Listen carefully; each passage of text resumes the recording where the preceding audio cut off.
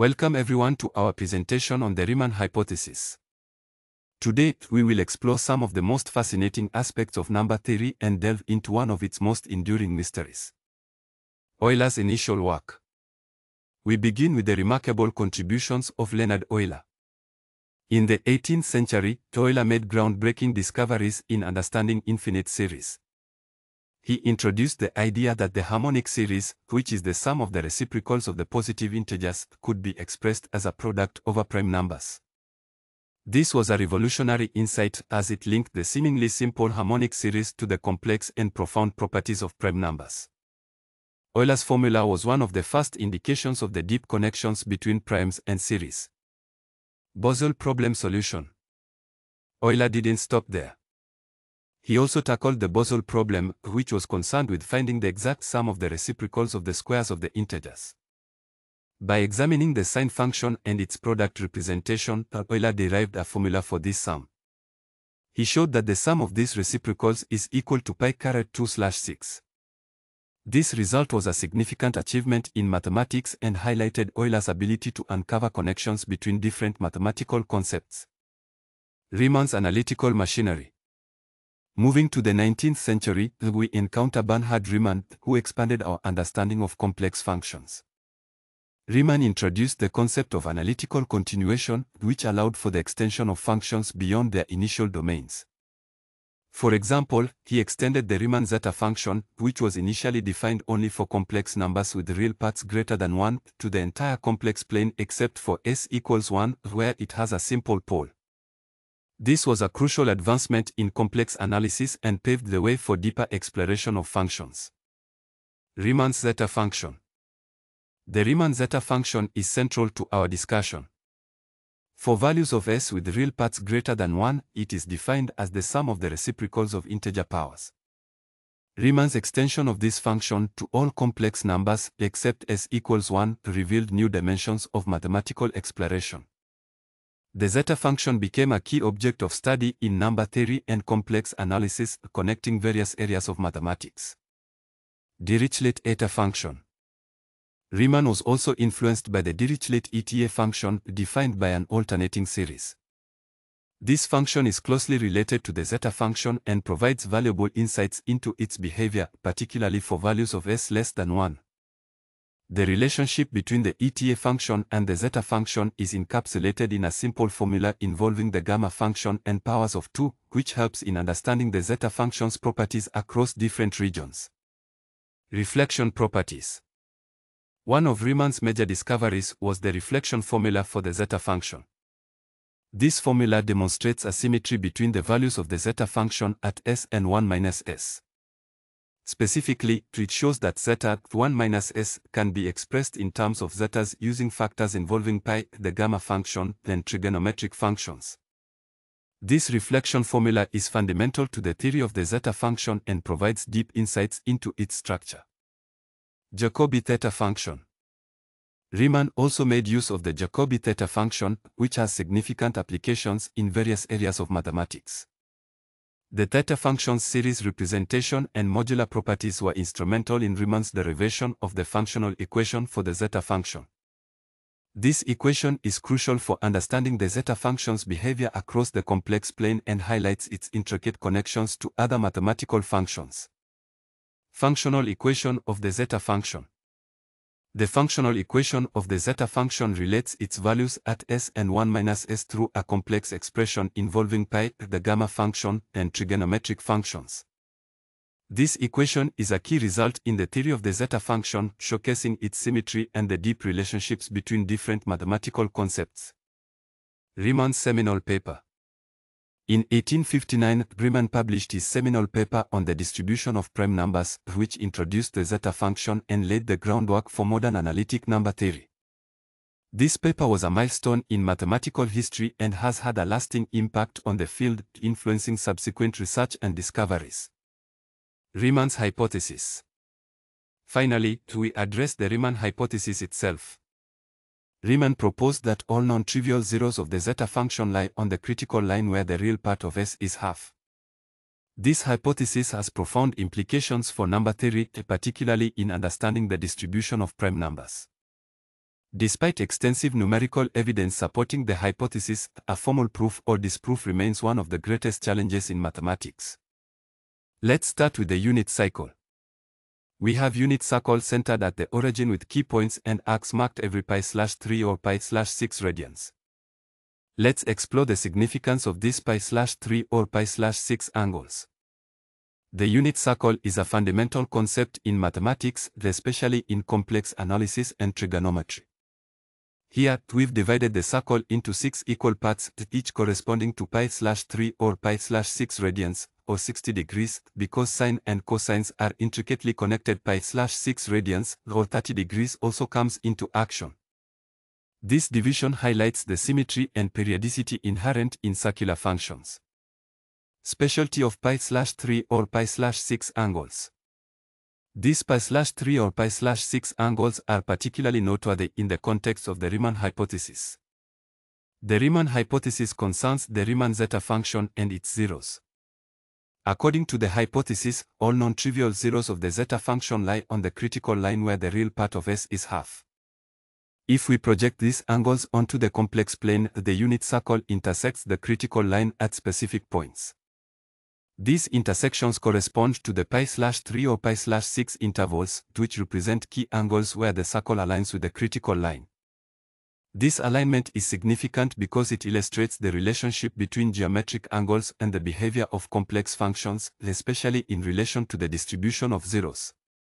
In this context, the pi slash 3 or pi slash 6 angles serve as a bridge between the geometric representation of the unit circle and the analytical properties of the Riemann zeta function. They emphasize how fundamental concepts in geometry and trigonometry intersect with deeper questions in number theory and complex analysis. Intuition and examples.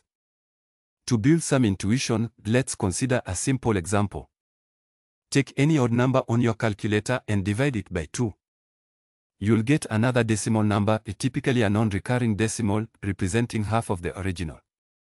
This process is straightforward and trivial, but it highlights the special nature of dividing by 2. Geometrically you can visualize this as our good old pi slash 2 orthogonal representation. Now, let's try something different. Take a sufficiently large number, calculate its logarithm, and then divide the result by the logarithm of 2. You'll notice that you don't end up in a repeating decimal loop. Instead, you get a value that eventually resolves to zero, although the length of the decimal part may vary. This non-repeating property reflects a more profound mathematical behavior. You might think zeta zeros are different, and you're correct, but trust me, all are connected at some point of time. For now, let's appreciate the midpoint a half has a unique equidistant position as the building blocks of plus 1 progression among the number line. Geometrically, these pi slash 3 or pi slash 6 slices of the unit circle emphasize this midpoint's importance.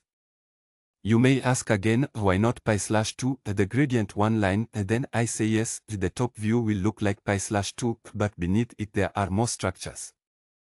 The structure we see here in simple divisions and logarithms also underpins the complex and intricate nature of zeta zeros.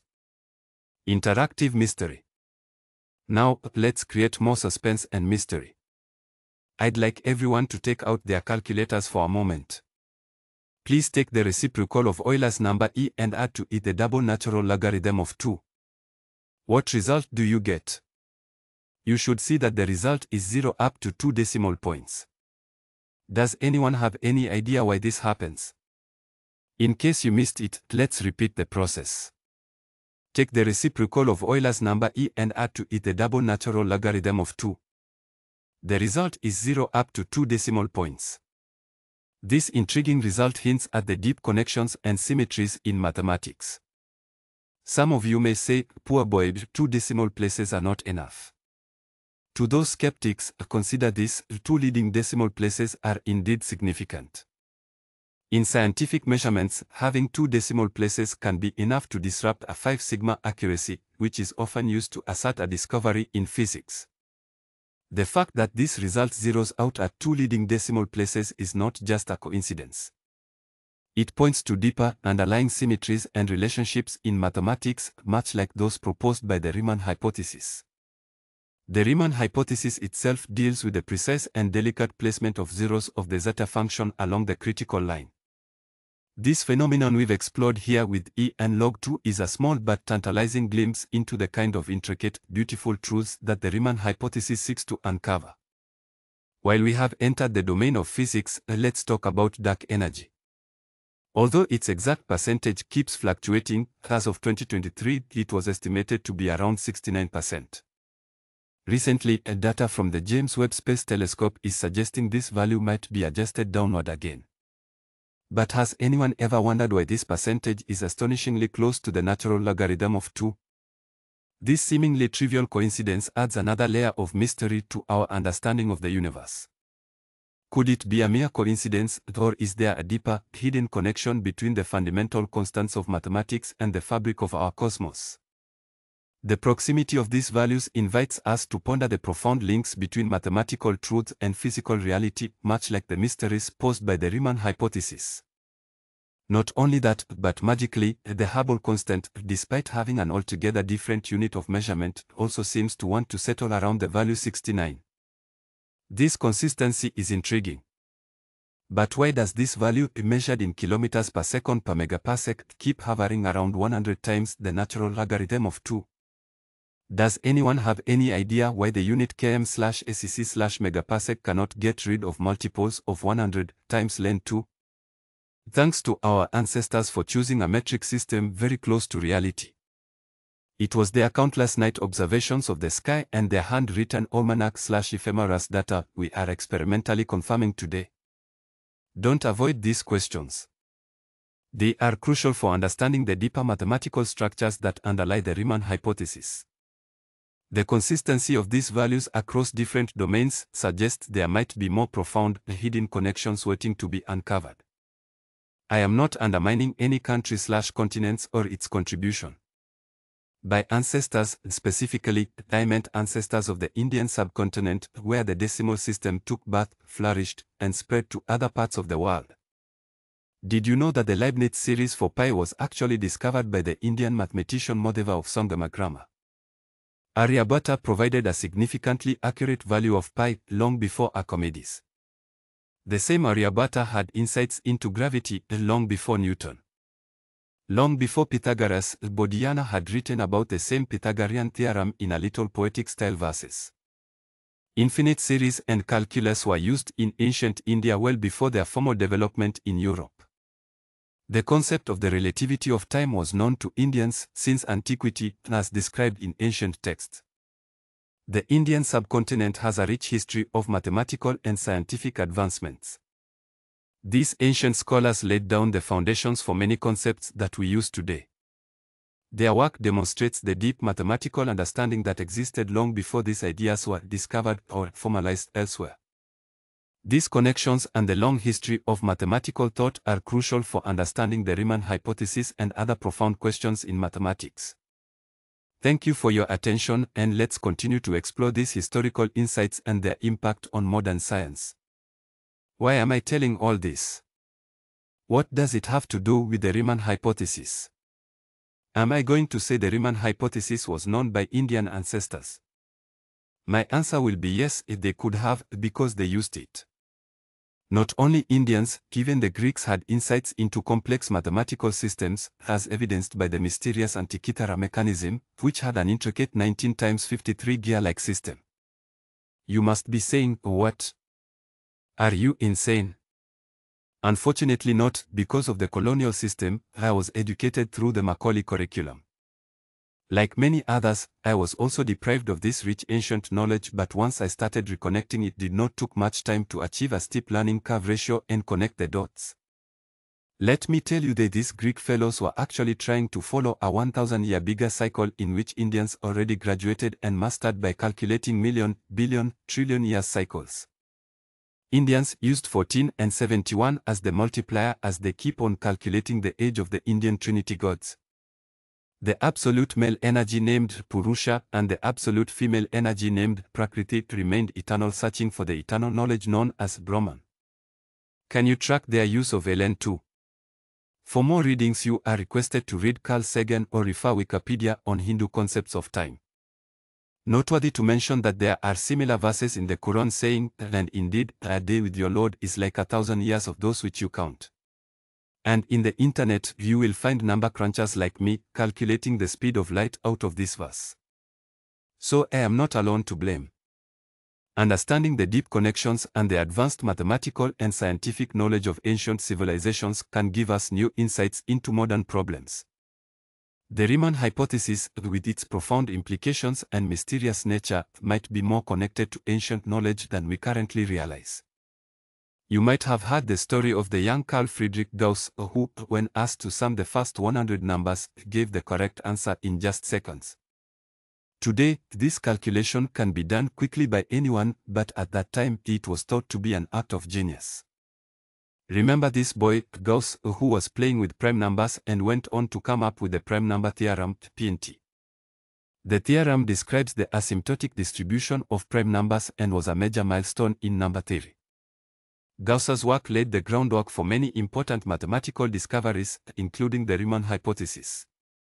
His genius in recognizing patterns and making profound mathematical insights continues to inspire mathematicians to this day. Did anybody do the mental math? The sum of the first 100 numbers is 50-50. Notice that it simplifies to 50-50. What does this have to do with the Riemann hypothesis? It's interesting to see that the sum breaks down to 50 and 50. This represents a halfway mark not just once, but twice. It's a reminder to open your mind to strange and unexpected connections. Before we dive into the details, consider this peculiar alignment. It might not be a coincidence. The way numbers and their sums reveal patterns can often lead to deeper mathematical insights, including those related to the Riemann hypothesis. Thank you for your attention, and let's keep this intriguing connection in mind as we continue exploring the mysteries of mathematics.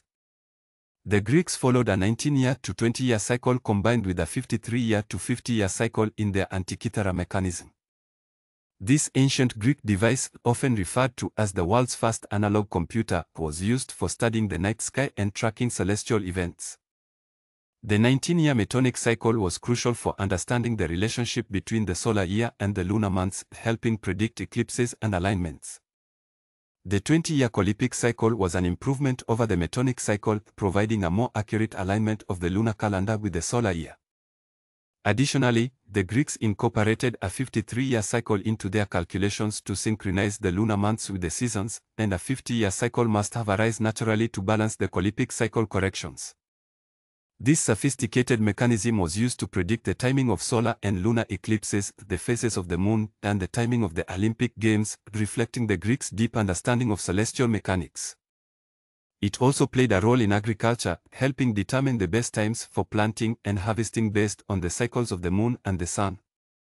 The precision of the Antikythera mechanism underscores the advanced level of astronomical and mathematical knowledge in ancient Greece, revealing a complex understanding of cycles and patterns that were vital for both scientific and practical purposes. This ancient device highlights how early civilizations used mathematical cycles to understand and predict the natural world, echoing the kinds of deep mathematical insights that we still explore today, including those related to the Riemann hypothesis.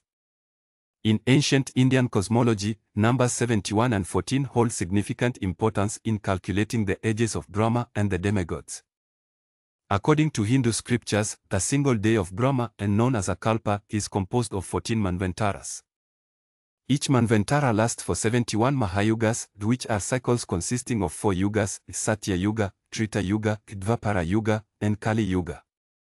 Therefore, one kalpa, or one day of Brahma, equals 14 Manvantaras, and each Manvantara contains 71 Mahayugas.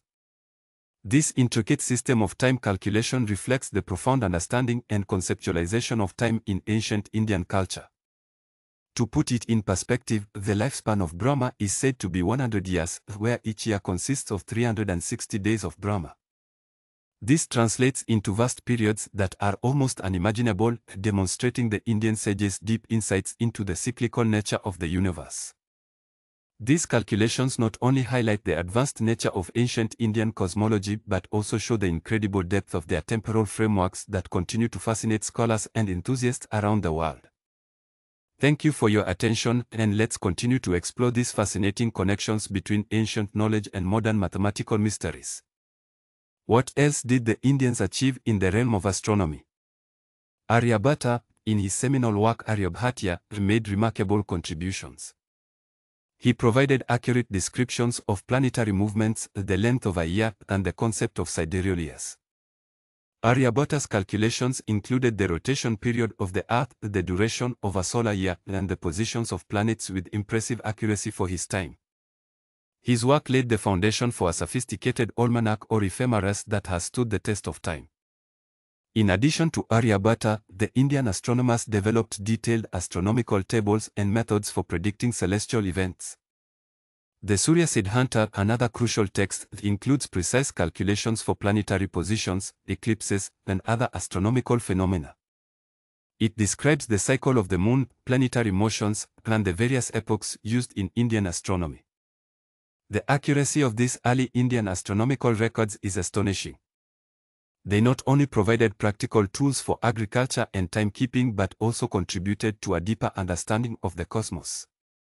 These ancient Indian techniques were so accurate that they are still referenced and hold up well against modern astronomical observations.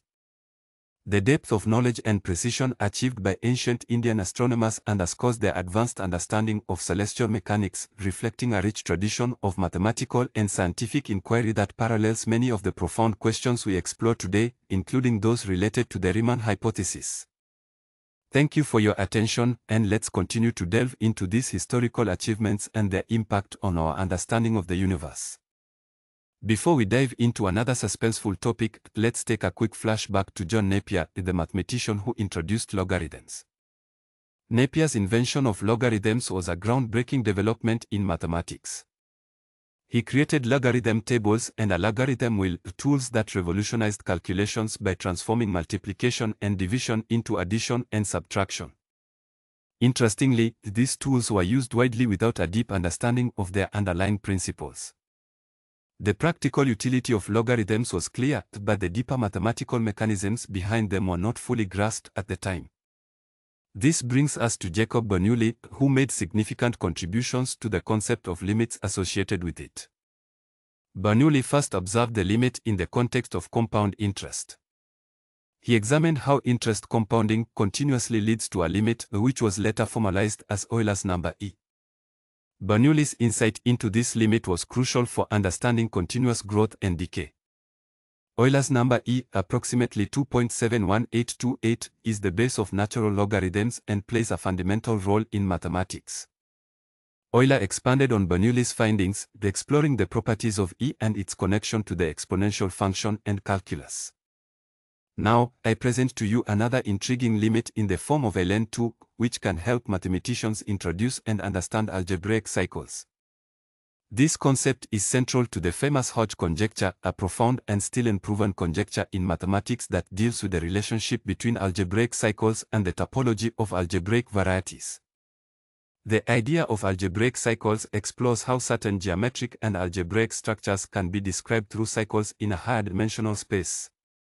While the Hodge conjecture remains unproven, it reflects a deep and important area of research in mathematics, offering insights into the structure and properties of complex spaces. Don't be ashamed of exploring cycles and patterns. Antiquity and modernity both reveal that such cycles are not just theoretical constructs but have real implications and applications. For example, consider Roger Penrose's interest in the cyclic universe model. Penrose has explored how the universe might undergo an eternal cycle of expansion and contraction. His study of polarization in the cosmic microwave background, the CMB, has fueled this fascinating idea, showing that cycles and patterns in cosmology can offer insights into the nature of the universe itself. The study of cycles, whether in algebraic geometry or cosmology, connects mathematical theory with physical reality, revealing a tapestry of patterns that span both ancient and contemporary research. These cycles are real, and understanding them can provide a deeper appreciation of the fundamental structures governing our universe. Thank you for your attention, and let's continue to explore these captivating connections and their implications for both mathematics and science. How many of you believe that God or Allah created this universe in six days and on the seventh day said, Let there be light and there was light? Without challenging or undermining your belief system, have you ever wondered where the number seven came from? After all, without clocks, every day seems just like yet another day. I don't know anything about the book of Genesis but from a clock's perspective the concept of seven days actually has historical roots that trace back to ancient astronomical knowledge. The idea of a seven-day week has its origins in the Surya Siddhanta, an ancient Indian astronomical text.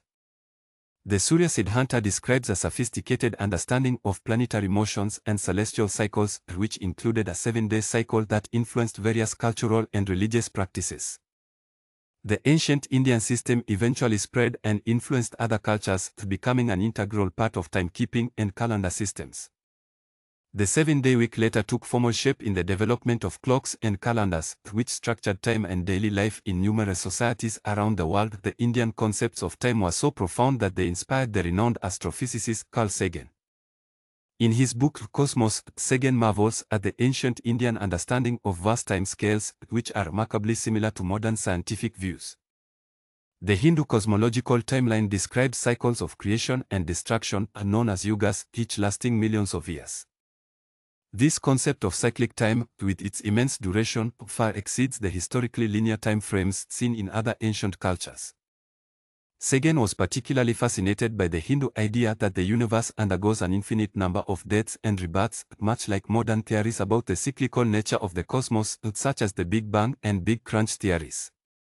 He also noted the correlation between the age of the universe as described in Hindu texts and the scientific estimation of the age of the universe.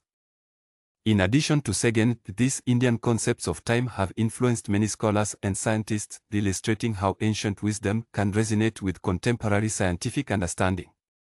The intricate and advanced nature of Indian cosmology continues to be a subject of study and admiration in the fields of astronomy and physics. The historical link between the ancient astronomical systems and the concept of a seven-day week shows how deeply ingrained and influential these early astronomical insights were. They provided a framework that has persisted through centuries, shaping our understanding of time and our daily routines. Thank you for your attention and let's appreciate how historical knowledge and cultural practices intertwine to form the concepts we live by today. All this was to induct you into the concept of natural cycles, preparing you for a quantum leap in understanding, much like the electrons that make sudden transitions in quantum systems. In the past, I have been trolled and compared with Terence Howard. I didn't know him until I came across some YouTube comments. When searched about him I came to know about his square root of 2 loop from YouTube.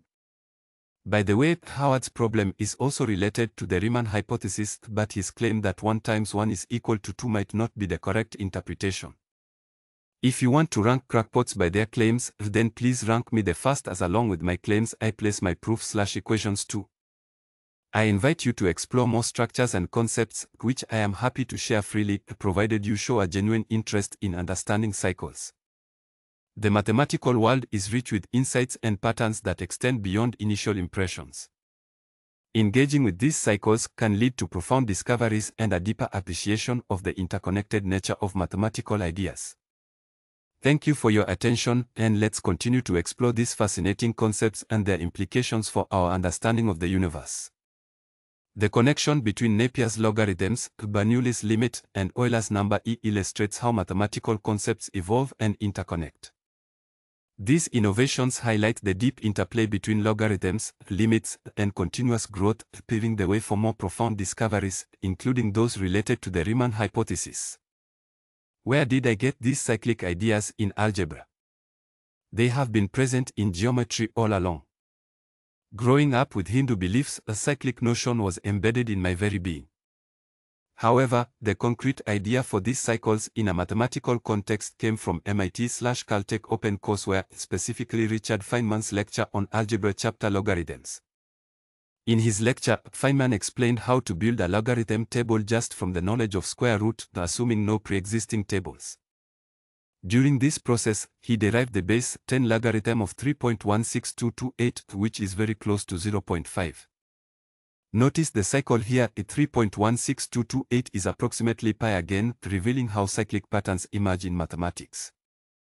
This connection highlights how the number 3.16228 approximates pi, showing an inherent cyclic relationship. I am not bluffing, go and check it for yourself. I checked it just last night also, still it exists. If Feynman had pursued number theory with the same zeal, he might have tackled the Riemann hypothesis. His work on path integrals and Feynman diagrams demonstrate his unification skills. Yes, I knew you might argue that 3.16228 is an approximation rather than exact pi. But consider this, can you bring me equal to absolute zero first? Even the cosmic microwave background, the CMB, has a temperature close to 2.7 Kelvin. Can you see Euler number in the CMB temperature? You will see 100 multiple of Euler number in Charles constant, a 10 multiple of Euler number in lunar cycle and a female's menstruation cycle. Maybe that's why females are called moon-born. Please don't make any other meaning out of it. It is just natural for females to bleed for 3 to 4 days after every 27 days to keep the internal reproductive cycle aligned to the natural cycle. What is a male cycle? There are male cycles too. Google it you will come to know. Men slash women both follow 69 to 72 heartbeats per minute. Can you see LN2 in your heartbeats? I can guess whole lot hateful comments waiting for me. I gave you my intuition of completing a cycle through LN2, which is also very close to the inverse of Euler's number E.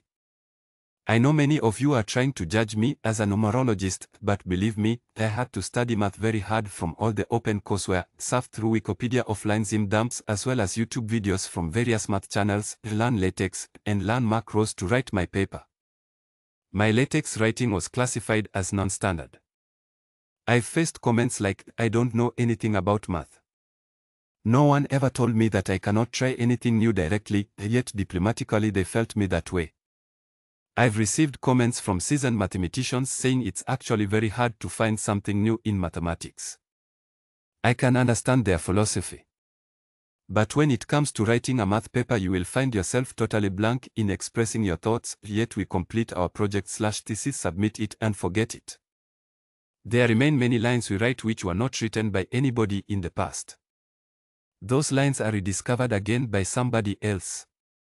Now we can treat them as old, but the person who originally wrote those lines often gets lost in the math archives. In the rarest of rare cases, the new discoverer acknowledges the original credit.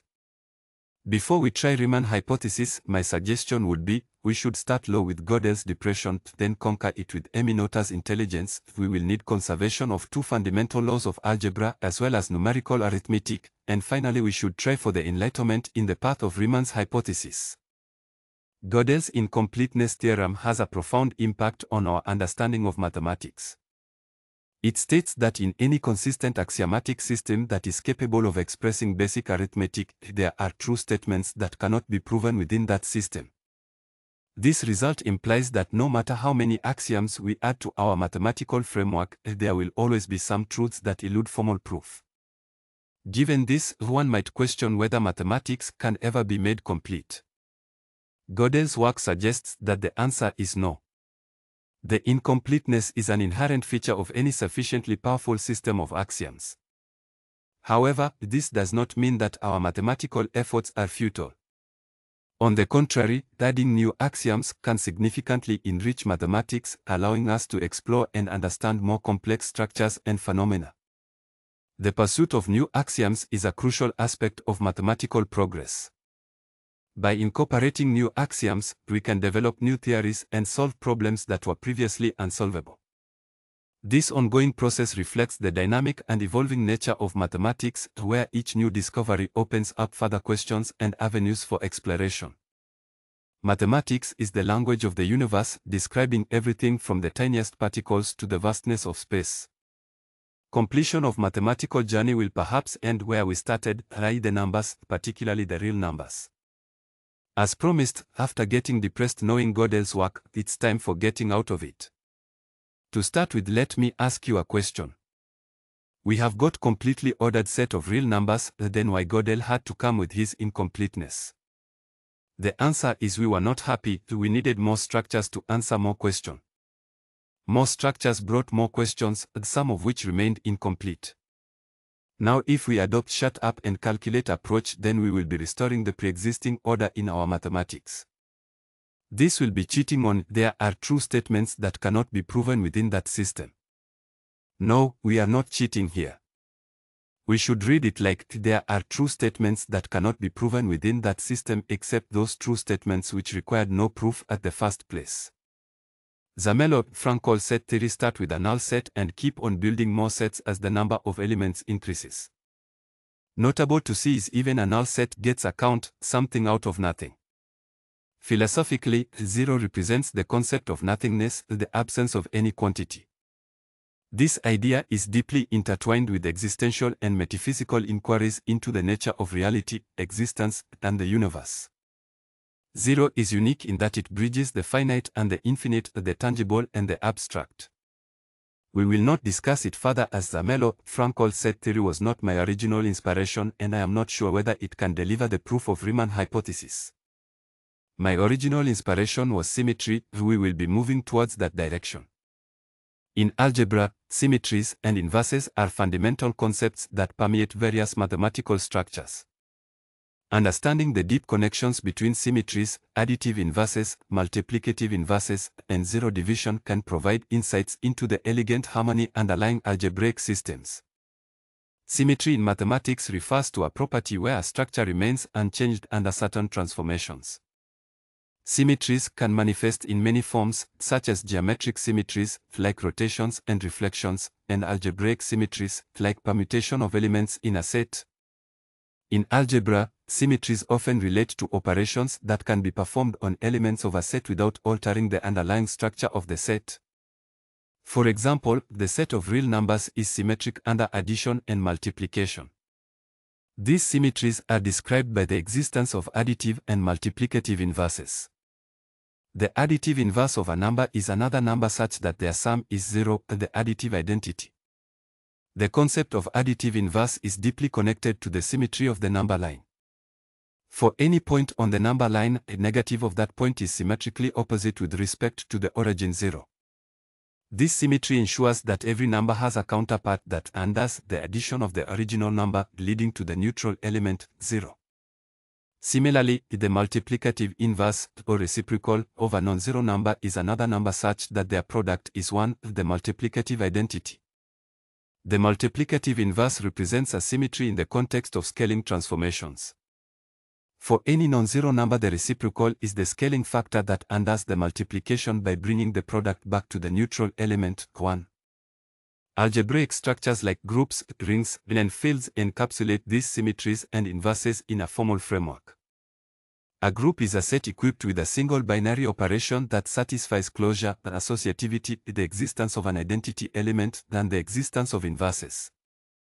The symmetries in a group are described by the existence of inverses and the identity element, ensuring that every element has an undoing counterpart. A ring extends the concept of a group by incorporating two binary operations, usually addition and multiplication. Rings also respect the distributive property.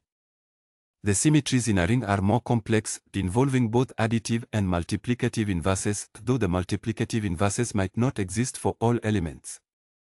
A field is a ring in which every non-zero element has a multiplicative inverse. Fields exhibit the highest level of symmetry as they support both additive and multiplicative inverses for all elements except zero in the case of multiplication. The deep connection between symmetries and inverses in algebra lies in the ability to undo operations and return to a neutral state whether through addition or multiplication or both together. Additive inverses reflect the symmetry around zero, while multiplicative inverses reflect the symmetry around 1. All of my work on Riemann hypothesis is centered around symmetry. Now let's move to the key concepts in my work. The first key concept in this paper is the dual unit circle which is based on symmetry. Similar to how an electron can exist in multiple states simultaneously until it is measured, the dual unit circle coexists alongside the unit circle. This concept extends the familiar unit circle from complex analysis, where Euler's unit circle is defined in the complex plane and is key to understanding the relationships between trigonometric functions and complex exponentials. Complex numbers, despite obeying all the fundamental laws of algebra, cannot be ordered in a manner consistent with their algebraic properties. This stems from the fact that any ordered field must allow for a comparison of every pair of elements. No consistent ordering of complex numbers is possible as it would violate fundamental properties of the field. When we extend our number system to higher dimensions, such as with quaternions and octonions, the concept of ordering becomes even more complex. Quaternions, discovered by William Rowan Hamilton, extend complex numbers to four dimensions. The multiplication of quaternions is non-commutative. Just as with complex numbers, if we attempt to order quaternions, we encounter contradictions. Octonions extend quaternions to eight dimensions and are even more complex. Octonions are non-associative as well as non-commutative. The non-associativity and non-commutativity of octonions further complicate any notion of ordering. Complex numbers, quaternions, and octonions are essential in various fields of mathematics and physics, providing powerful tools for describing rotations, transformations, and other phenomena. However, their algebraic structures inherently lack a consistent ordering compatible with the field properties. This highlights a fundamental difference between these high-dimensional number systems and the real numbers, where a linear order is naturally defined. The dual unit circle introduces us to a higher dimensional space, adding complexity and new possibilities. Here, quaternions, octonions, Sedenions, or even higher dimensional complex, split complex and dual numbers comes into play and they leave their mark in the real number line which is the one and only ordered field, subtly shaping the unit circle the way it is. This significant influence makes the unit circle appear dual and more coherent, enabling the exploration of more intricate structures and relationships within the family of numbers. Emmy Noether, a brilliant mathematician of the early 20th century, made groundbreaking contributions to abstract algebra and theoretical physics. One of her most famous achievements is Noether's theorem, which connects symmetries in physical systems to conservation laws. Her work has had profound implications for both mathematics and physics, highlighting the deep connections between symmetry and the fundamental laws of nature. In simpler terms, if a system exhibits symmetry, e.g., rotational symmetry or translational symmetry, then there is a corresponding quantity that is conserved, e.g., angular momentum or linear momentum. In mathematics, especially in the realm of real numbers, we often deal with both positive and negative values.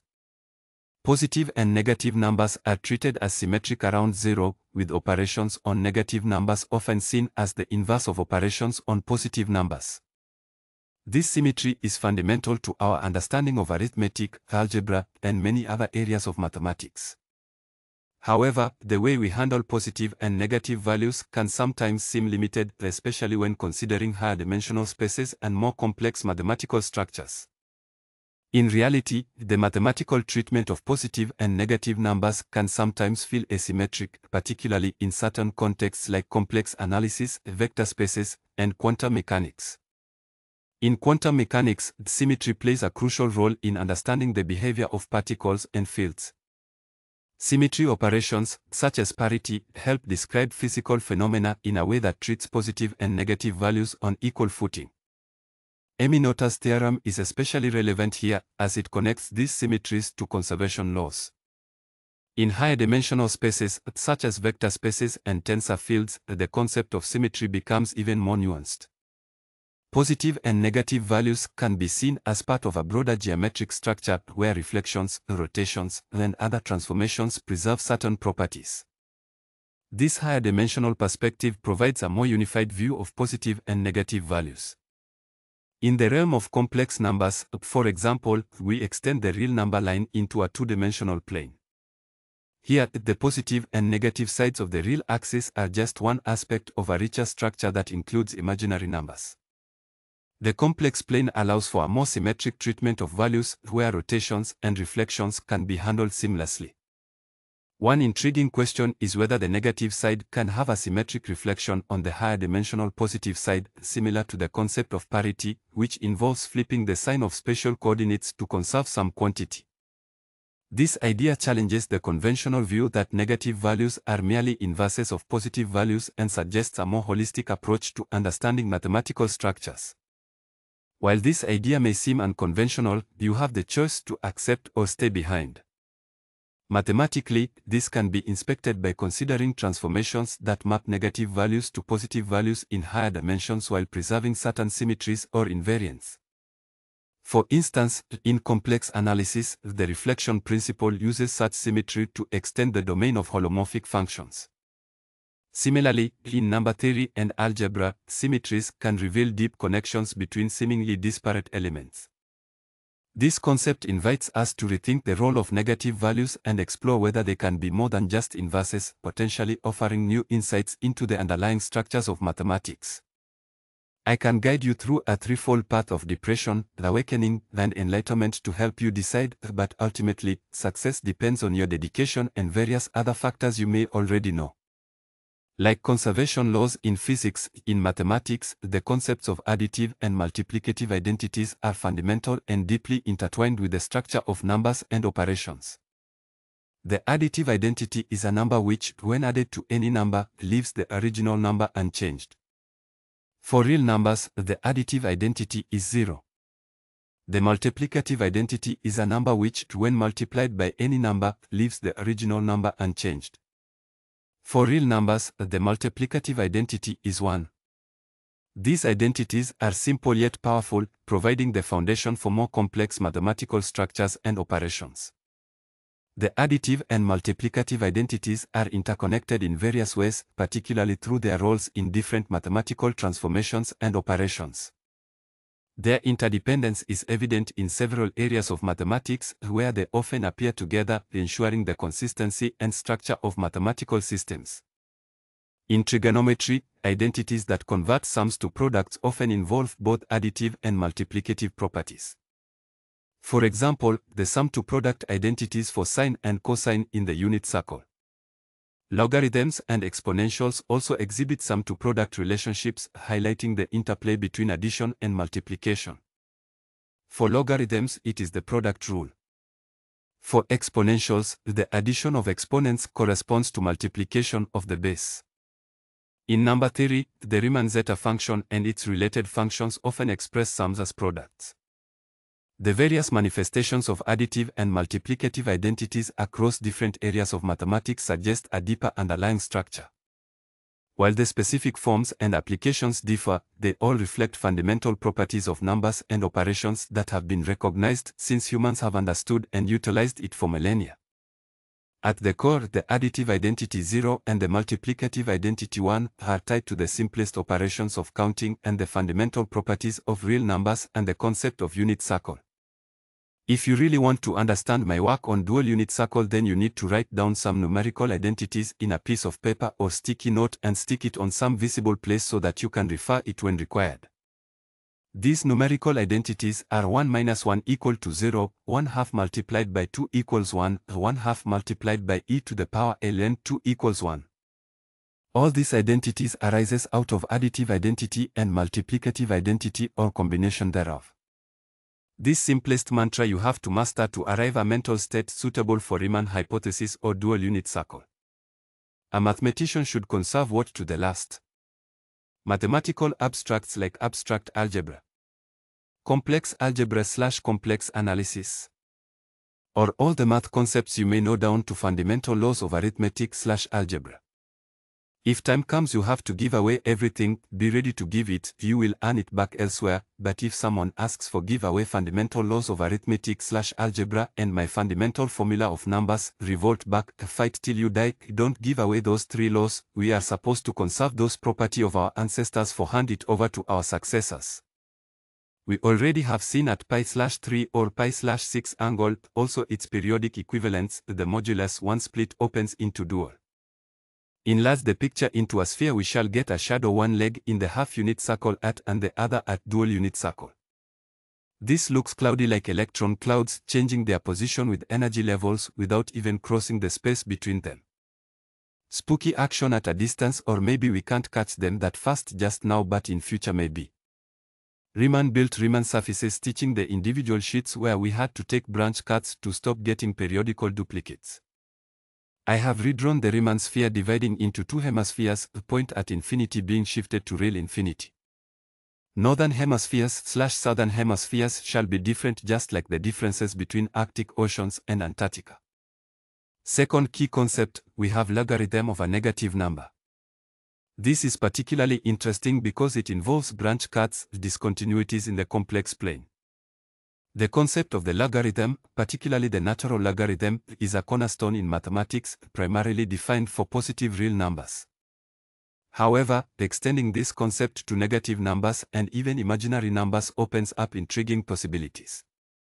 Traditionally, the logarithm of a negative number is undefined in the real number system because the exponential function, which the logarithm is the inverse of, never yields a negative value. In the complex plane, however, we can explore the logarithm of negative numbers using imaginary numbers. Specifically, the natural logarithm of a negative number involves the imaginary unit i, where i squared equals minus 1. Before we talk about logarithm of a negative number we should know the history behind the developments of the concept. The exponential function, denoted as e to the power x, has a rich history intertwined with the works of several prominent mathematicians. Its origins can be traced back to the early 17th century with John Napier and Jacob Bernoulli, and it was later explored extensively by Leonhard Euler, who connected it to some of the most beautiful results in mathematics. John Napier, a Scottish mathematician, is often credited with the discovery of logarithms in 1614. His work laid the groundwork for the exponential function, as logarithms are the inverse of exponentiation. Napier introduced logarithms as a means to simplify complex calculations, particularly in astronomy and navigation. He developed tables of logarithms, which provided a new tool for mathematicians and scientists to multiply and divide large numbers more efficiently. Around the same time, Jacob Bernoulli, the Swiss mathematician, contributed to the understanding of exponential growth through his studies on compound interest. Bernoulli examined the process of continuously compounding interest and discovered that as the number of compounding periods per year increases indefinitely, the value approaches a limit. This limit, now known as the number e approximately equal to 2.71828, became a fundamental constant in mathematics. The Swiss mathematician Leonhard Euler made significant contributions to the theory of exponential functions in the 18th century. Euler was the first to use the notation e for the base of the natural logarithm, and he explored the properties of the exponential function in depth. One of his most famous results is Euler's identity, which connects the exponential function to trigonometry and complex numbers in a surprising and elegant way. Euler's identity is often celebrated as one of the most beautiful equations in mathematics because it combines five fundamental mathematical constants as you may know. This equation exemplifies the deep interconnections between different areas of mathematics. The exponential function possesses several remarkable properties that make it unique and extremely useful in calculus. One of the most striking properties of the exponential function is that its derivative is the function itself. This property implies that the exponential function grows at a rate proportional to its current value, which is a key characteristic of exponential growth. This self-similarity is rare among functions and makes particularly significant in mathematical modeling of growth and decay processes. Magically, the integral is also the function itself. So the exponential function remains unchanged under both differentiation and integration, reinforcing its fundamental role in calculus. The concept of the dual unit circle reveals new avenues for integrating complex numbers along the real number line. This approach realizes higher dimensional contributions while allowing the exploration of rich structures within the framework of additive and multiplicative inverses. The natural logarithm of 2 is a significant constant in mathematics. It appears frequently in problems involving exponential growth, binary systems, and information theory. By redefining imaginary number i, we leverage this constant to provide a more consistent and potentially richer framework for handling negative logarithms. One of the most crucial aspects of any such redefinition is ensuring that the rich structures in mathematics are preserved. By scaling the imaginary unit with a natural logarithm constant, we align our theoretical framework with existing mathematical properties, maintaining the integrity of complex functions, periodicity, and multivalued aspects of logarithms. Once we accept the existence of a real value for the imaginary number i, the natural logarithm of 2 becomes a suitable candidate for further exploration. One compelling approach is to define the natural logarithm of minus 1 in terms of the successive logarithms of natural logarithm of 2 multiplied by 2. By doing so, we avoid the complexities of branch cuts, discontinuities in the complex plane that arise when defining multivalued functions like the complex logarithm. The issue with negative logarithms in the real number system highlights the need for a more comprehensive approach within the complex plane.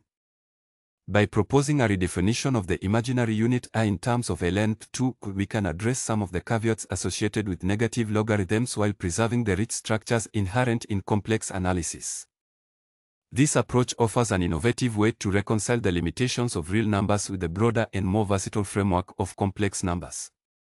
I did my work inspired from real numbers. At the end, if you buy it, then complex, hypercomplex, split complex, dual numbers all get merged with real numbers with appropriate higher dimensional scalar and a base of your choice for imaginary number iota. My natural suggestion is ln2. I saw the potential of applying it to exotic numbers like up arrow notations, tree tree, etc., but never ventured. Perhaps the branch cut problem ends with the selection of the base. Of course we need to keep on using the successive logarithm of the main base we take for lateral, for different families of complex numbers, verticals we need to leave open for future enthusiasts to explore other exotic numbers. The periods will be directly handled by the imaginary parts, I mean the real coefficient of imaginary parts. Third and final concept in this paper on the proof of Riemann hypothesis is Riemann hypothesis itself. I titled my paper Numbers are three-dimensional. My motivation was to take my readers out of comfort zone of two-dimensional complex numbers. Before we delve into the process of extending the domain of the Riemann zeta function and my personal journey in attempting to prove Riemann hypothesis, let's first grasp the essence of what the hypothesis is all about. The Riemann hypothesis was formulated by Bernhard Riemann, the German mathematician, in 1859. It revolves around the distribution of prime numbers and their connection to the zeros of the Riemann zeta function. The Riemann zeta function is a complex valued function defined for complex numbers s with a real part greater than 1. It is computed by summing the reciprocals of all positive integers raised to the power of minus s starting from 1 and continuing infinitely. In other words, zeta is expressed as the sum of 1 to the power minus s plus 2 to the power minus s plus 3 to the power minus s plus and so on extending to infinity. To broaden the domain of the Riemann zeta function, we generally employ a technique known as analytic continuation. Analytic continuation enables us to extend the definition of a function to a larger domain. In the case of the zeta function, we can extend it to the entire complex plane, excluding the point s equals 1, where it possesses a simple pole. Now, here's where it becomes intriguing. The Riemann hypothesis states that all non-trivial zeros of the zeta function reside on a critical line in the complex plane, characterized by the equation real of s equals to 1 half. By extending the domain of the zeta function further, we may gain the ability to explore these non-trivial zeros and strive to establish the validity of the Riemann hypothesis. Various techniques, such as functional equations, integral representations, and contour integration, are typically used to extend the domain of the zeta function. However, in my approach, I departed from these conventional methods and continued Euler's unfinished work by employing an induction process that involved taking infinite products of zeta values. Through this approach, I obtained initial results that challenged established notions, such as zeta 1 being equal to 1 instead of infinity and zeta minus 1 being equal to 1 half rather than Ramanujan's value of minus 1 twelfth. This deviation from conventional thinking led me to propose both the existence and completion of algebraic cycles involving at least the zeta function. I realized that the poles of the zeta function could not be left unaddressed and intuited that their removal might hold the key to proving the Riemann hypothesis. If zeta 0 leads us to minus 1 half and zeta 1 half is connected to all zeta zeros, then there must be a complex cycle that mathematicians have thus far overlooked. I visualized the Riemann hypothesis as a cyclic challenge and I reopened the problem in a fresh manner.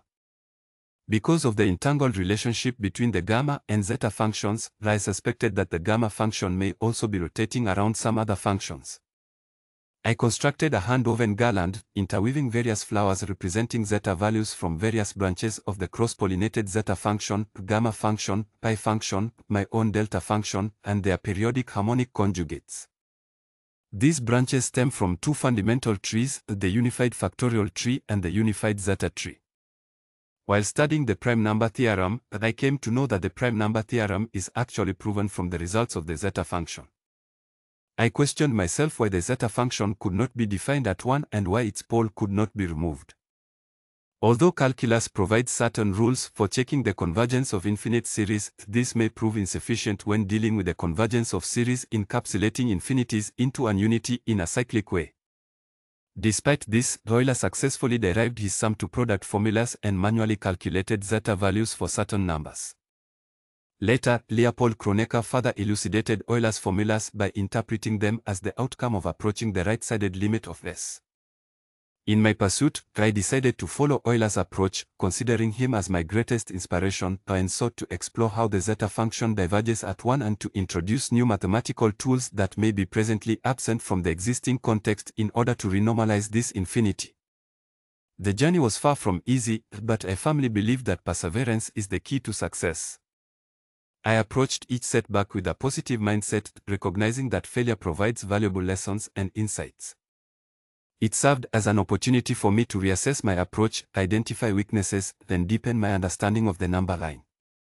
Being in a different world, I lacked the ability to engage with other mathematicians and researchers to exchange ideas, seek feedback, and encouragement.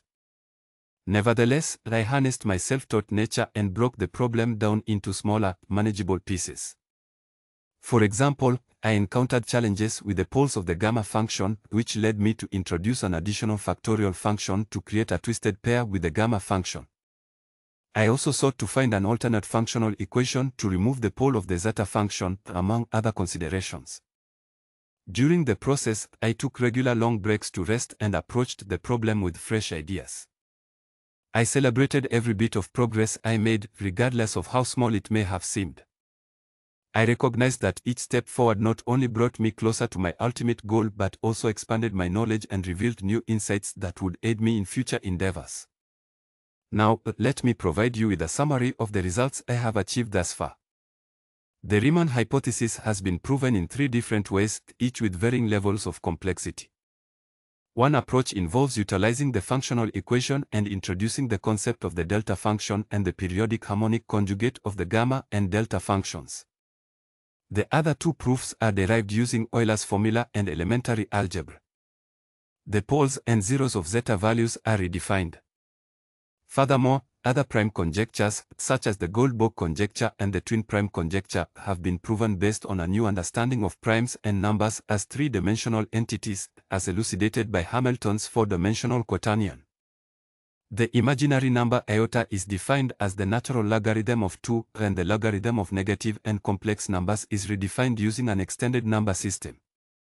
Additionally, the factorial of negative and complex numbers is redefined through the use of the delta function and the periodic harmonic conjugate of the gamma and delta functions. Now let me take you on a detour of my personal journey so far. As an accountant, I typically don't engage with scientific concepts in my daily life. However, my curiosity was piqued on Christmas Eve in 2012 when there was a hoax circulating that the world would end by December 31st. Although the hoax lacked scientific basis, it compelled me to seek the truth and explore contemporary scientific understanding of the universe. I began by reading Wikipedia articles on physics, a subject that had always interested me despite my limited knowledge from school.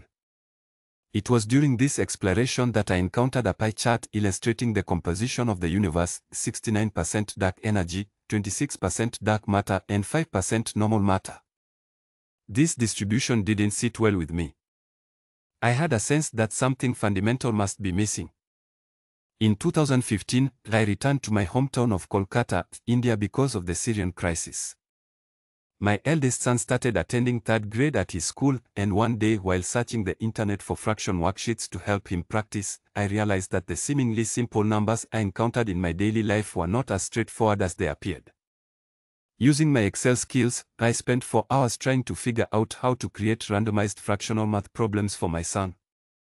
I discovered that to generate proper fractions for multiplication and division problems, the final result of which didn't result in recurring decimals, I needed to divide any random input numbers by its larger multiples of 5. I hypothesized that this phenomenon was due to the decimal system we use, with 5 acting as a midpoint. On another occasion, I encountered the fine structure constant, which has an approximate fractional value of 1 upon 137. I couldn't help but notice that it was nearly half of the reciprocal of Charles's constant ratio of 1 upon 273, which I had learned about in school. I struggled to immediately understand the significance of this observation but attributed it to the same midpoint theory I had developed, inspired by concepts of balance and averages in financial accounting. You must be thinking that I made a mistake when I said fine structure constant is half of Charles's constant. I am talking in the sense of denominator, numerator is always reserved for one in my thought process. One day, while browsing through Wikipedia, I stumbled upon a list of unsolved physics problems, which led me to another list of unsolved mathematical problems. The latter list was relatively shorter, and I found myself captivated by the Riemann hypothesis, one of the seven Millennium Prize problems. Drawing upon my self-constructed midpoint theory and its rudimentary connection to the Riemann hypothesis, I pondered why such an elegant proposition had remained unsolved for over a century and a half.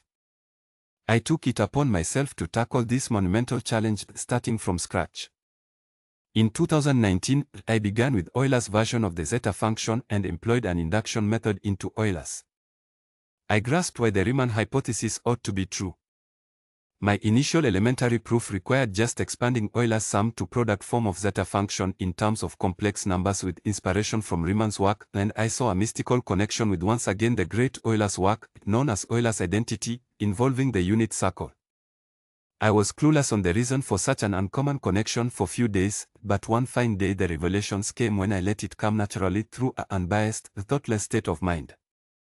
Here I felt the grand scheme of unity among the diversities which is also prominent among the real numbers as all the real numbers carry one common factor among themselves which is none other than an 1.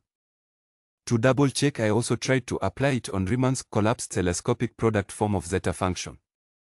Here I had to play a little bit with the signs to come to the same conclusion.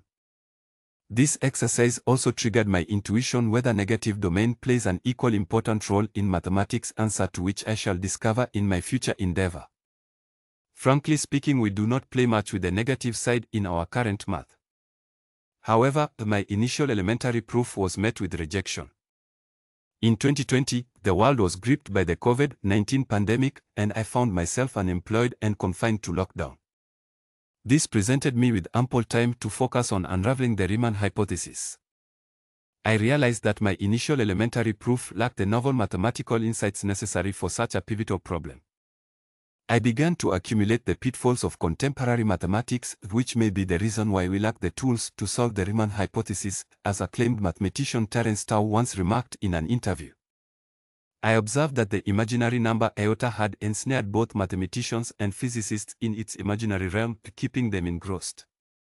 My initial elementary proof called for a half-unit circle, contradicting the conventional notion of a unit circle. Here I gathered enough courage to break open the singularity situation of negative logarithm into a dual situation involving quaternion and come out with the idea of real value for imaginary number iota will fix the caveat of negative logarithm into some real calculations. I had discovered a way using calculus to incorporate a dual unit circle within the familiar concept of a unit circle, but further justification was needed. Although complex analysis was not my cup of tea, I delved into it to ensure that my work did not violate any principles. I found no such violations, yet I encountered only rejections. Returning to Riemann's functional equation, I sought to develop a more rigorous approach. I came across a particular theorem in complex analysis known as the harmonic conjugate theorem, which states that if a function is analytic in a given region, there must exist a harmonic conjugate of the original function. I realized that if I could slightly modify Riemann's functional equation by replacing the gamma function with an equivalent that is not undefined at 1, I could potentially eliminate the function pole. I understood that this would challenge the well-established divergence of the harmonic series, as proven by Nicole Oresme centuries ago. But residue theorem, a Grandi's series manipulation helped me to remain in the picture. This journey led me to introduce a new zeta function that spirals cyclically to form a continuum with these cycles serving as placeholders for infinity. However, I soon realized that I had inadvertently opened Pandora's box, giving rise to additional complications and dilemmas along the way. In order to tackle these novel problems, I found it necessary to revisit Euler's gamma function and create a variant of it which I named the delta function. However, even with this new function, I encountered challenges and uncertainties in my pursuit of unraveling the Riemann hypothesis. The journey continues, and I remain dedicated to the exploration of these mind-boggling ideas, seeking to make a meaningful contribution to the fields of physics and mathematics.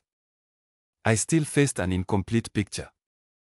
To fill in the missing pieces I delved into the uncharted territories of negative factorial functions and introduced two additional functions that served as periodic conjugates as well as the inverses of the original gamma function and the newly discovered delta function.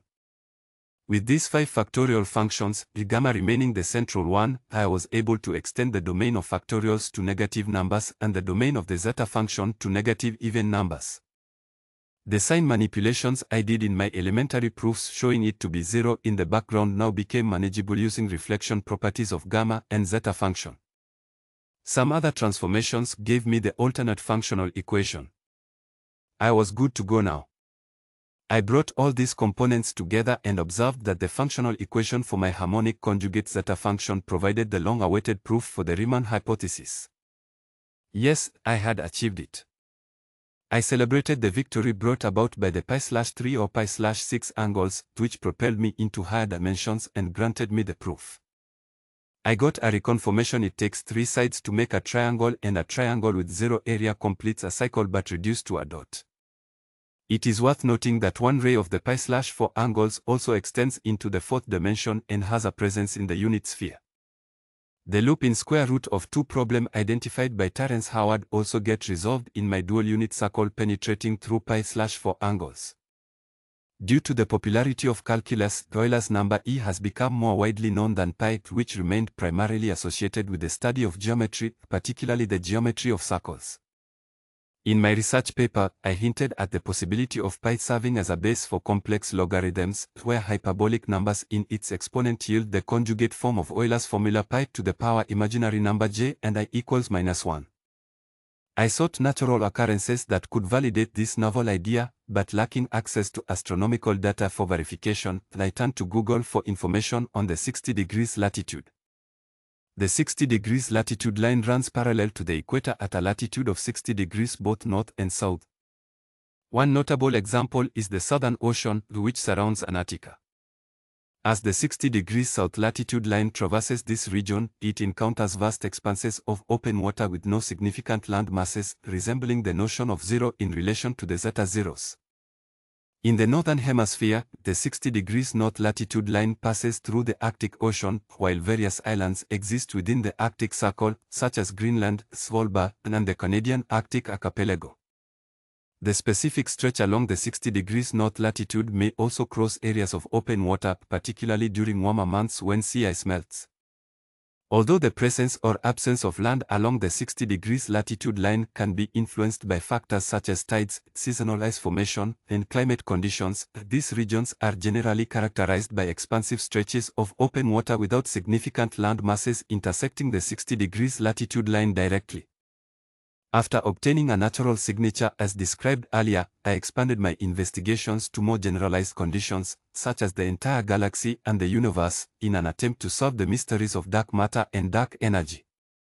The intriguing coincidence of dark energy's percentage being equal to the natural logarithm of 2 arises from the numerical proximity between the current estimate of the ratio of dark energy's energy density to the critical density of the universe. In the field of cosmology, dark energy is a hypothetical form of energy believed to be responsible for the observed accelerated expansion of the universe.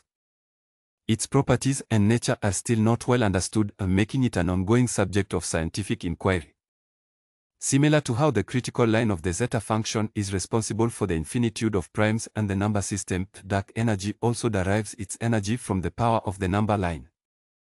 Even though the universe may be spatially and temporally infinite, it operates in a manner similar to the number line, which diverges to infinity, crossing an infinite number of cycles like e to the power 11, e to the power 22, e to the power 33, and so on. I derived the last two numbers mentioned using only a few physical constants, such as the speed of light, Planck's constant, Newton's gravitational constant, Boltzmann's constant, mass of the electron, and the Charles's gas constant. Yes, you heard it correctly, the Charles's gas constant. The intriguing numerical relationship between the fine structure constant and half of the Charles's ratio of an ideal gas has kept me awake at night. Connecting the dots to complete the picture requires a certain level of imagination. The fine structure constant, denoted by alpha, is a fundamental constant in physics that characterizes the strength of the electromagnetic interaction between charged particles. Its value is close to 1 slash 137. The fine structure constant is dimensionless and plays a crucial role in various areas of physics, including quantum electrodynamics.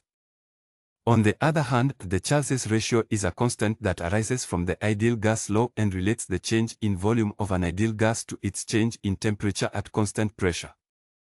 Approximately, this ratio is close to 1/273.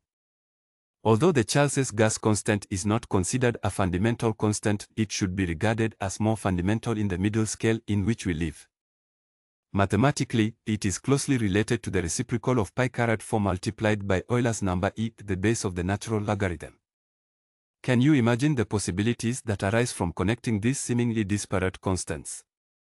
The interplay between the fine structure constant, the Charles's ratio, and other fundamental constants hints at a deeper underlying structure in the fabric of our universe. Exploring these connections may lead to new insights and a more comprehensive understanding of the laws governing our reality. As I continued my investigations, I stumbled upon an unexpected relationship between the Riemann zeta function and the fine structure constant.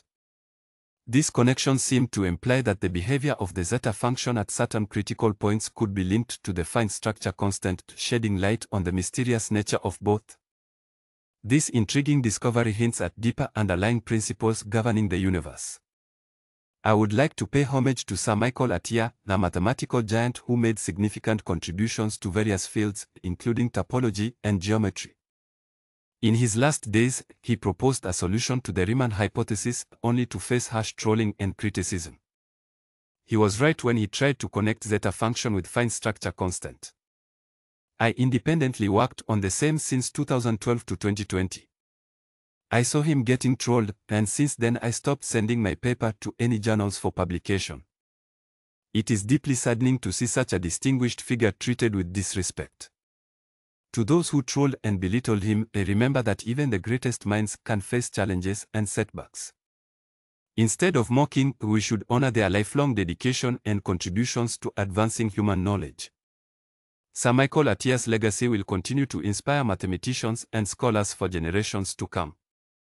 One of earliest work without the intricacies of negative factorials or the inverses of factorial functions actually got published in 2023. I opened my YouTube channel in late 2023. The idea was educate people on my work. Traffic is getting better every day. To reach more people I need to translate my speech and post videos regularly with different voices. I am working on that because multilingual track facilities is not available to small YouTubers. On the closure note my focus was always on achieving the zero state so I started with zero in my hand. Someone said the universe is a closed circuit, while any other degrees of freedom were secondary considerations. This singular pursuit eventually led me down a roller coaster path of duality, at times losing myself in the vastness of infinity. However, my desire to return safely to my starting point served as a compass guiding me through the boundless expanse. After catching a glimpse of the greatest zero of all time and space of which the zeros of the zeta function was merely a subset, I found myself overwhelmed and succumbed to a deep slumber. Upon awakening, I discovered a minus one in the palm of my hand, symbolizing my encounter with the great zero. Euler had seen it his way, and I had seen it my way, yet we both arrived at minus one. If you embark on this voyage and complete the cycle of three, you too will receive the gift of an additional minus one through some unknown transporters. Don't get into the hesitations. I didn't order this. Open the package after scanning and place it meaningfully to maintain equilibrium in any equation.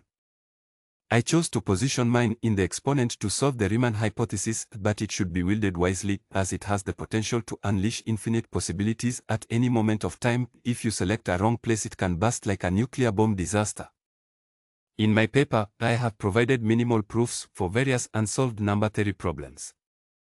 I refer to these proofs as minimal because they emerge from the already proven prime number theorem. Once we understand the duality of the number system and its oscillation around the limit of 2, the dual nature of numbers refers to the observation that prime numbers exhibit both irregular and seemingly random patterns, as well as certain statistical properties that can be analyzed through probabilistic methods. For example, let's consider the twin prime conjecture, which states that there are infinitely many prime numbers that differ by 2. To approach this problem, we can utilize the prime number theorem and the dual nature of numbers. By invoking the prime number theorem and considering the asymptotic limit of prime numbers, we can reverse engineer it to know about the roots of any number and thus we can show that there will always be infinitely many twin primes with a prime gap of 2. This can be seen as a minimal proof for the twin prime conjecture. Similarly, the Goldbach conjecture, which states that every even integer greater than 2 can be expressed as the sum of two prime numbers, could also be approached using the prime number theorem and the dual nature of numbers. It's important to note that while these minimal proofs may provide insights and a deeper understanding of number theory problems, they may not necessarily be considered complete or rigorous proofs. Number theory problems, especially those that have remained unsolved for a long time, often require extensive mathematical techniques and rigorous proofs to be fully resolved. As promised in my last video today, we shall explore a revolutionary concept, the integration of complex numbers with the decimal number system. This idea promises to enhance our understanding of mathematics and extend its applications. Let's dive into the history, basic concepts, attempts at integration, and my unique approach to this intriguing endeavor, which includes a modified place value system and novel decimal operations. To appreciate the integration of complex numbers with the decimal system, we must first understand their origins. The decimal number system, also known as the base 10 system, dates back to ancient civilizations like the Egyptians and the Babylonians. It was formalized by Indian mathematicians and spread to the Western world through the works of Islamic scholars. On the other hand, complex numbers have a more tumultuous history. The notion of imaginary numbers emerged in the 16th century when mathematicians like Cardano grappled with solutions to cubic equations that involved the square root of negative numbers. The formal acceptance and development of complex numbers came later, with significant contributions from Euler, Gauss, and others in the 18th and 19th centuries. The decimal number system is a positional numeral system that uses 10 digits, from 0 to 9. Each digit's position represents a power of 10, allowing for the representation of both whole numbers and fractional numbers. Complex numbers, on the other hand, consist of a real part and an imaginary part. This extension of the real numbers allows for the solution of equations that have no real solutions. This concept might seem abstract, but it has practical applications in fields like engineering, physics, and computer science. Historically, the integration of complex numbers into the decimal system hasn't been a mainstream focus. However, there have been efforts to unify different complex number systems under broader mathematical frameworks. For example, hypercomplex numbers, including quaternions and octonions, extend complex numbers to higher dimensions. These efforts demonstrate the potential for a unified numerical system. I don't know why complex numbers and the decimal system have remained separate entities. Being an Indian guy from the East where decimal system took birth, I propose a possible integration thereof with the complex numbers from the West. The challenge is to find a way to integrate these systems seamlessly. Imagine if we could extend the familiar and intuitive decimal system to include complex numbers, providing a unified framework that simplifies calculations and broadens our mathematical toolkit. Allow me to present my approach towards integrating complex numbers with the decimal number system. This vision involves a modified place value system and novel rules for decimal operations to seamlessly incorporate complex numbers. In this framework, the first imaginary part has a place value of 100 and every subsequent imaginary part increases by 10 times its predecessor. Thus, the place values for the imaginary parts are 100, 1000, 10,000, and so on. This system preserves the hierarchical structure of the decimal system while extending it to accommodate complex numbers. We introduce a unique rule for operations involving the signs of imaginary parts. If the imaginary part has a positive sign, it multiplies the real part. Conversely, if the imaginary part has a negative sign, it divides the real part. This rule integrates the effects of the imaginary components into the real number operations in a consistent and logical manner. In this system, imaginary numbers are replaced by starting with the natural logarithm of 2 and its successive logarithms. This substitution grounds the imaginary parts in well-known mathematical constants, providing a bridge between real and complex numbers. The problematic point will be negative logarithm of minus 1 which also can be fixed or replaced by double of the natural logarithm of 2 following the definition of imaginary number iota. This approach is consistent with the principles of the decimal system and the properties of complex numbers. By integrating complex numbers in this way, we create a seamless transition from real to complex numbers. Furthermore, this framework can unify hypercomplex numbers, such as quaternions and octonions, by extending the positional system into higher dimensions. Each dimension could represent a different component of these hypercomplex numbers, preserving the structural integrity of the decimal system while accommodating greater complexity. Integrating complex numbers with the decimal number system through a modified place value system and my novel rules for decimal operations is a practical and innovative step towards unifying various numerical systems. By viewing complex numbers as an extended decimal system with unique place values and operational rules, we preserve consistency and open the door to unifying more complex number systems. This vision holds the promise of a more cohesive and comprehensive mathematical framework, enhancing our understanding and application of numbers in diverse fields. Thank you for your attention, and I hope this exploration has sparked your curiosity and appreciation for the innovative possibilities in the world of mathematics. As with any groundbreaking idea, the integration of complex numbers with the decimal number system is bound to face scrutiny and criticism. This is a natural part of the process of advancing knowledge and pushing the boundaries of what we understand. Let me address some of the probable criticisms and defend my propositions with clarity and conviction. One of the primary criticisms may be that this new system is too complex and impractical for everyday use. Critics might argue that the modified place value system and new rules for operations add unnecessary layers of complication. While the proposed system introduces new concepts, it builds on the familiar structure of the decimal system. The place value modification and the rule of signs are designed to maintain consistency and logic within the system. The use of natural logarithms provides a mathematically rigorous foundation that can unify real and complex numbers. In practical terms, the adoption of this system can be incremental, starting in advanced fields like theoretical mathematics, physics, and engineering, where the benefits of a unified numerical framework are most pronounced. Another criticism might come from a purist mathematical perspective, arguing that such a system disrupts the elegance and simplicity of existing mathematical structures. Mathematics has a history of evolving to incorporate new ideas that initially seemed counterintuitive or complex. The acceptance of zero, negative numbers, and even complex numbers themselves were met with resistance. Yet, these concepts have become fundamental to modern mathematics. My approach is not to replace existing systems but to extend them, providing a new perspective that enriches our understanding and opens up new possibilities for exploration and application. As we delve into the integration of complex numbers with the decimal number system, one aspect of my proposal is likely to attract significant criticism, the replacement of the imaginary unit with the natural logarithm of 2 and its successive logarithms. Let me address and defend this part of my proposition in detail. Critics might argue that replacing the imaginary unit with natural logarithm of 2 and its successive logarithms undermines the mathematical legitimacy and rigor of complex numbers, as the imaginary unit iota has a well-defined and fundamental property. While the imaginary unit iota is indeed fundamental in traditional complex number theory, my proposal aims to reinterpret the imaginary component in a way that is consistent with logarithmic growth. The use of natural logarithm of 2 and its successive logarithms grounds the imaginary part in well-known mathematical constants that also exhibit a clear and hierarchical relationship.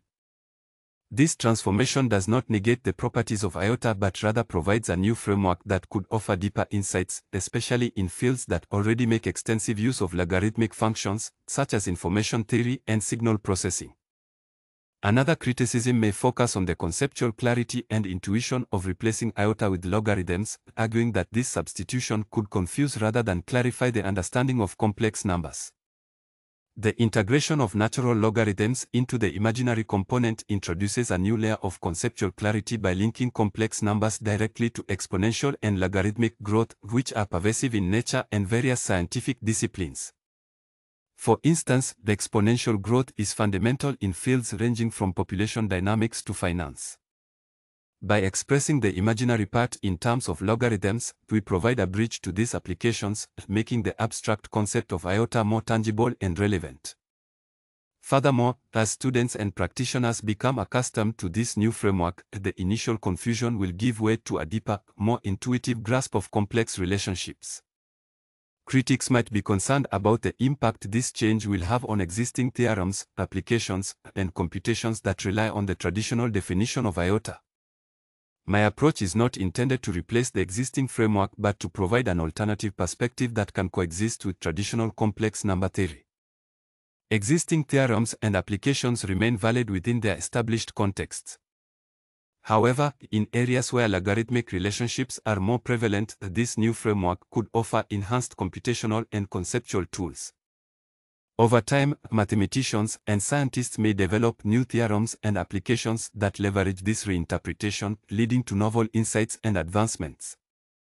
Educators might express concern about the difficulty of teaching this new system, especially when students are already grappling with traditional concepts. Education is about preparing students to think critically and adapt to new ideas.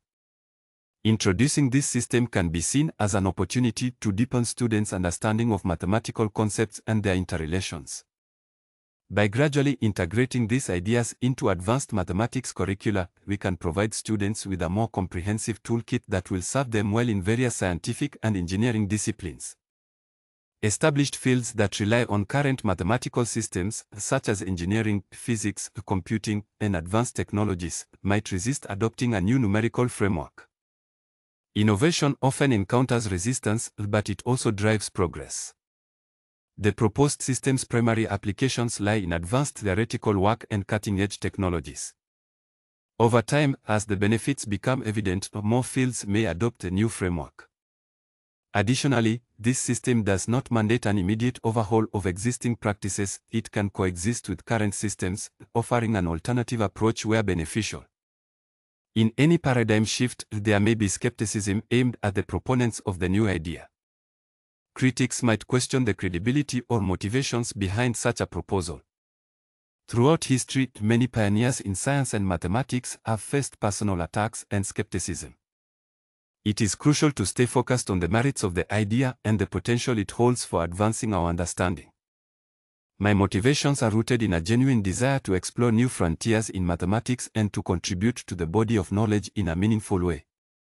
Constructive criticism is welcome as it helps refine and improve the proposition. However, personal attacks will not deter the pursuit of progress.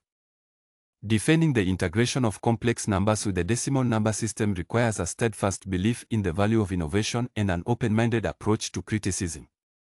By addressing concerns thoughtfully and demonstrating the potential benefits of this new framework, we can foster a productive dialogue that ultimately advances our understanding and application of mathematics. Change is challenging, but it is also necessary for growth and discovery. The integration of complex numbers with the decimal number system through a modified place value system and novel operational rules is a practical and innovative step towards unifying various numerical systems. By viewing complex numbers as an extended decimal system with unique place values and logarithmic replacements, we preserve consistency and open the door to unifying more complex number systems. This vision holds the promise of a more cohesive and comprehensive mathematical framework, enhancing our understanding and application of numbers in diverse fields. Thank you for your attention, and I look forward to engaging in further discussions and explorations of this exciting concept. As we stand on the brink of unprecedented technological advancements, the integration of complex numbers with the decimal number system opens up a myriad of possibilities. This novel concept can significantly impact two of the most transformative fields of our time, quantum computing and artificial intelligence, AI. By merging these mathematical frameworks, we can push the boundaries of what is possible, enhancing computational efficiency, accuracy, and capabilities.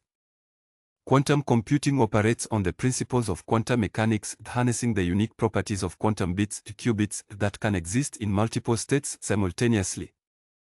This characteristic, known as superposition, along with entanglement, allows quantum computers to perform complex calculations at speeds unattainable by classical computers.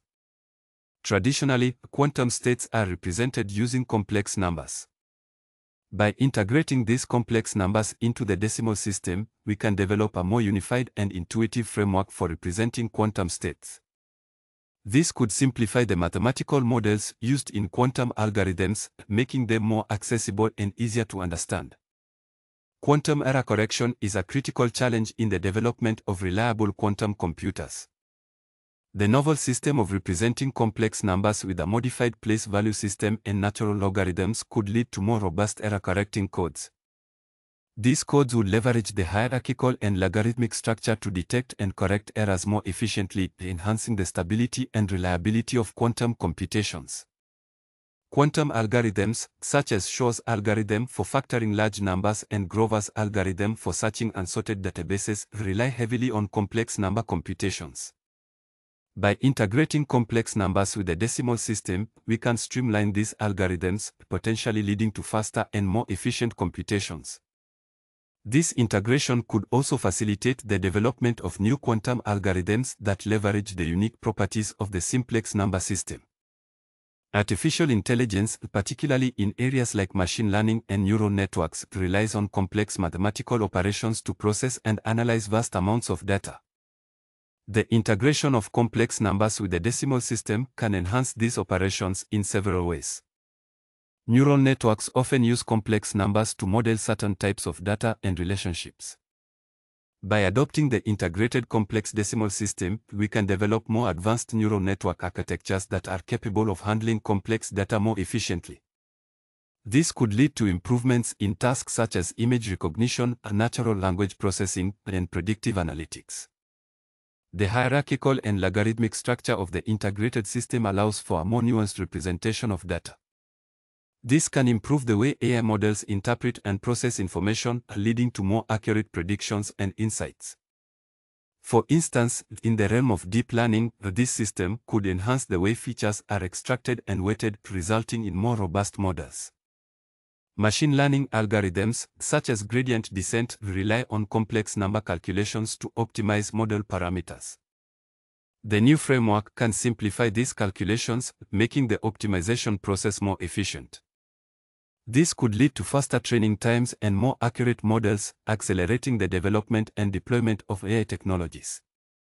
One of the most exciting possibilities is the creation of a unified mathematical framework that seamlessly integrates AI and quantum computing. By leveraging the integrated complex decimal system, we can develop hybrid quantum classical algorithms that combine the strengths of both paradigms. This could lead to breakthroughs in fields like quantum machine learning, where quantum computers enhance the capabilities of classical AI models. The integration of complex numbers with the decimal number system represents a bold and innovative step towards advancing quantum computing and artificial intelligence. By providing a more intuitive, robust, and efficient mathematical framework, this novel concept has the potential to unlock new possibilities and drive transformative advancements in these fields. As we continue to explore and refine this integration, we can look forward to a future where the boundaries of computation and intelligence are continually expanded, leading to a deeper understanding of the universe and more powerful technological tools. Thank you for your attention, and I look forward to engaging in further discussions on the exciting potential of this groundbreaking idea. The integration of complex numbers with the decimal number system offers a revolutionary framework that can transform various fields, including human disease drug development, genetic modification, and cancer treatment. By merging these mathematical systems, we can enhance computational models, improve data analysis, and develop innovative approaches to tackle some of the most challenging problems in medicine and biotechnology. The process of drug development is intricate and time-consuming, requiring precise modeling and analysis of biological systems and molecular interactions. The integrated complex decimal system can significantly impact this field in several ways. Computational models used in pharmacology often rely on complex numbers to simulate the behavior of drugs within the human body. By integrating complex numbers with the decimal system, we can develop more accurate and efficient models. This can improve the prediction of drug behavior, including absorption, distribution, metabolism, and excretion, ADME, leading to faster and more reliable drug development processes. Molecular dynamic simulations are essential for understanding the interactions between drugs and their target proteins. The novel framework can simplify these simulations by providing a more intuitive representation of molecular interactions. This can enhance our ability to identify potential drug candidates and optimize their efficacy and safety. The hierarchical and logarithmic structure of the integrated system allows for more efficient data analysis and pattern recognition. This can expedite the identification of promising drug compounds from large datasets, reducing the time and cost associated with drug discovery. Genetic modification involves altering the genetic material of organisms to achieve desired traits. The integration of complex numbers with the decimal system can advance this field by improving the precision and efficiency of genetic engineering techniques. Gene editing technologies, such as CRISPR, Cas9, rely on precise targeting and modification of specific DNA sequences.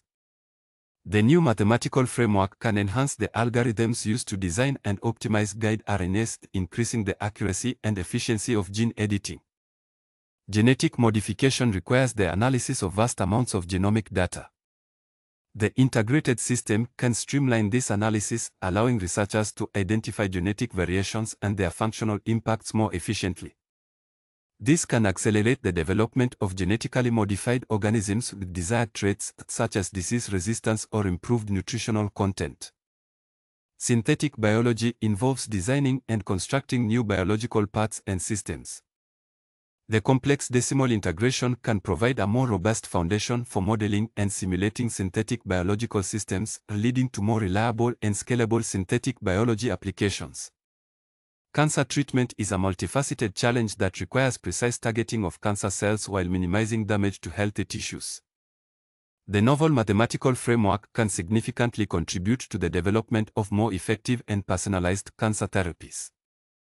The integration of complex numbers with the decimal number system holds the potential to revolutionize human disease drug development, genetic modification, and cancer treatment. By providing a more intuitive, robust, and efficient mathematical framework, this novel concept can enhance computational models, improve data analysis, and lead to innovative approaches in medicine and biotechnology. As we continue to explore and refine this integration, we can look forward to groundbreaking advancements that improve human health and well-being. Thank you for your attention, and I am excited to engage in further discussions on the transformative potential of this groundbreaking idea. The integration of complex numbers with the decimal number system, hereby termed the simplex number system, represents a revolutionary framework that can significantly advance various fields.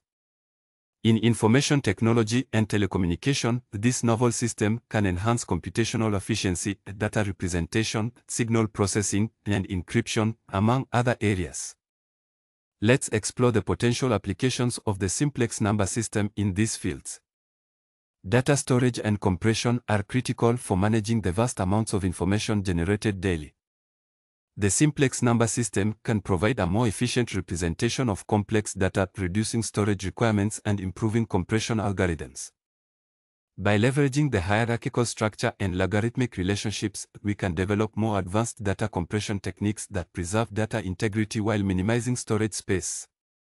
Many algorithms in computer science, such as those used in graphics processing, machine learning, and numerical analysis, involve complex number calculations.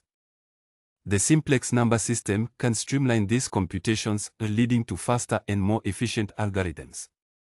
This improvement can enhance the performance of various applications, from rendering high-quality graphics to training deep learning models. Cryptographic algorithms rely on complex mathematical operations to secure data. The simplex number system can introduce new methods for encryption and decryption, leveraging the unique properties of the integrated complex decimal framework. This can enhance the security of digital communications and transactions, making it more difficult for malicious actors to breach cryptographic defenses. Error detection and correction are essential for maintaining data integrity in digital systems. The simplex number system can improve the design of error-correcting codes, such as Reed-Solomon and LDPC codes, by providing a more robust mathematical foundation. This can enhance the reliability of data transmission and storage, reducing the likelihood of data corruption and loss. Signal processing is at the heart of telecommunication, involving the manipulation and analysis of signals to transmit information. The simplex number system can enhance digital signal processing DSP algorithms by providing a more intuitive representation of complex signals. This can lead to more efficient filtering, modulation, and demodulation techniques, improving the quality and reliability of communication systems. Channel coding techniques, such as error-correcting codes, are crucial for maintaining the integrity of transmitted data. The hierarchical and logarithmic structure of the simplex number system can improve the design of these codes, making them more efficient at detecting and correcting errors. This can enhance the performance of communication channels, particularly in noisy environments. Modulation schemes, such as quadrature amplitude modulation QAM, and phase shift keying PSK, rely on complex number operations to encode data onto carrier waves. The simplex number system can introduce new modulation techniques that leverage its unique properties, potentially increasing the data throughput and robustness of communication systems. Telecommunication networks rely on complex algorithms to manage data traffic, allocate resources, and optimize performance. The simplex number system can enhance these algorithms, leading to more efficient network management and improved quality of service QoS. This can result in faster data transfer rates, reduced latency, and better overall network performance. Multiple input multiple output MIMO and orthogonal frequency division multiplexing OFDM are key technologies in modern wireless communication systems, including 4G and 5G networks. These technologies rely on complex number operations for signal processing and channel estimation. The simplex number system can optimize these processes, improving the performance and capacity of wireless networks. The simplex number system offers a transformative approach to handling complex numbers, providing a more intuitive, robust, and efficient mathematical framework. In the fields of information technology and telecommunication, this system can significantly enhance data storage, computational algorithms, cryptography, signal processing, channel coding, modulation schemes, and network optimization. By adopting the simplex number system, we can unlock new possibilities and drive advancements that will shape the future of digital communication and technology. Thank you for your attention, and I look forward to exploring the transformative potential of the simplex number system with you. The integration of complex numbers with the decimal number system, termed the simplex number system, provides a transformative mathematical framework. This system can significantly impact weather forecasting and climate control by enhancing data analysis, modeling, and prediction capabilities. Let's explore the potential applications of the simplex number system in these critical fields. Numerical weather prediction models rely on complex mathematical equations to simulate atmospheric conditions. The simplex number system can streamline these equations, making computations more efficient and accurate. This can lead to improved short-term and long-term weather forecasts, providing more reliable information for disaster preparedness and resource management. Data assimilation involves integrating observational data into weather models to improve their accuracy.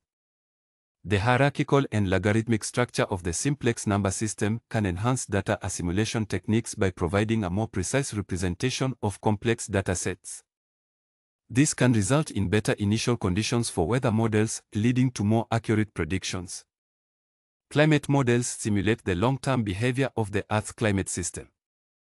By incorporating the simplex number system, these models can better capture the intricate interactions between the atmosphere, oceans, and land surfaces.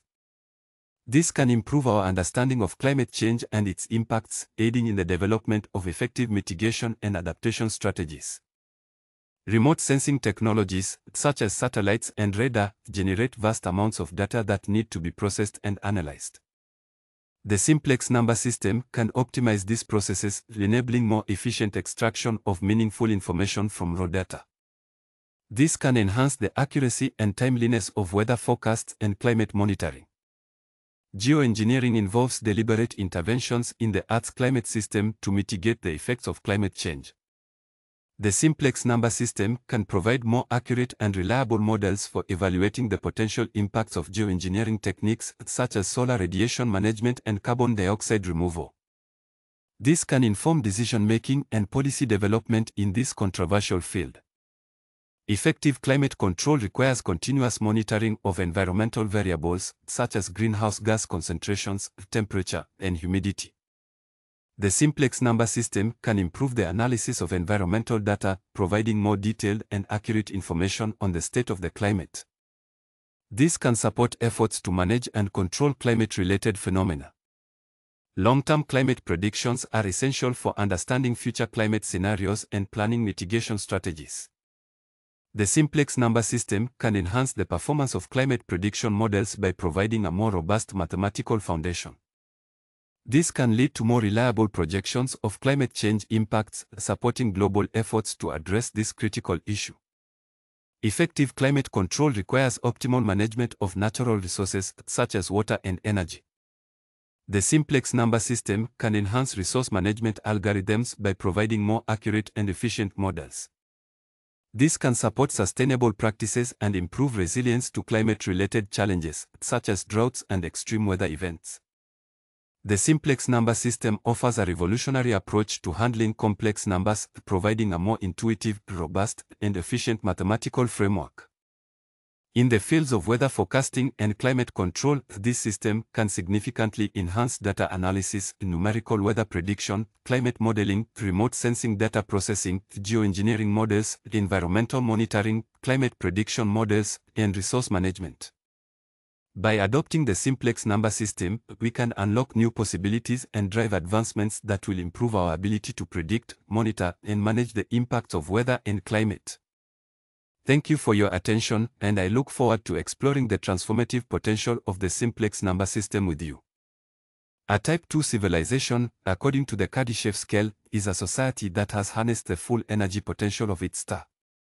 Achieving this level of advancement requires groundbreaking technological innovations, efficient energy management, and robust infrastructure. The integration of complex numbers with the decimal system, termed the simplex number system, can play a pivotal role in this journey. Here, we explore how the simplex number system can contribute to humanity's progression towards becoming a Type 2 civilization. The construction of a Dyson sphere, a hypothetical megastructure that encompasses a star to capture its energy, requires advanced engineering and precise calculations. The simplex number system can streamline the complex computations involved in designing and constructing such structures. By enhancing the accuracy and efficiency of these models, we can optimize the materials and techniques used, making the concept of harvesting stellar energy more feasible. Storing the immense energy harvested from a star demands advanced energy storage solutions. The simplex number system can improve the design and efficiency of these storage systems by providing more accurate models for energy conversion and storage dynamics. This can lead to the development of high-capacity, durable energy storage technologies that can sustain a Type 2 civilization's energy needs. Accurate navigation through space is crucial for interstellar travel and colonization. The simplex number system can enhance astrodynamics models, making it easier to calculate trajectories, optimize fuel usage, and predict gravitational influences. This can improve the safety and efficiency of long-duration space missions, facilitating the exploration and colonization of other star systems.